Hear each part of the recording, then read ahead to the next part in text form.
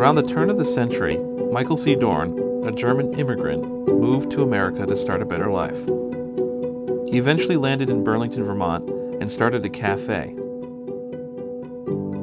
It was there that he began experimenting with carbonated beverages. One of those beverages would eventually become famous across all of New England for its unique flavor. Venetian ginger ale had a spicy bite, tamed with just enough sweetness to bring it all into balance. By 1915, the popularity of Venetian grew so much that Michael founded M&FC Dorn Co., built a bottling facility in Burlington, and Venetian Beverages was born. Over the years, Michael taught his sons how to run the business, and on his passing in 1934, his son Frank took over. Under Frank's leadership, M&FC Dorn Co. focused on bottling better-known brands.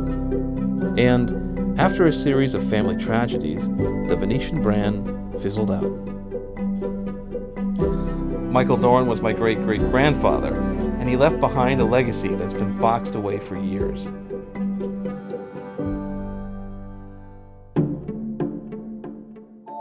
I've always been interested in my family history.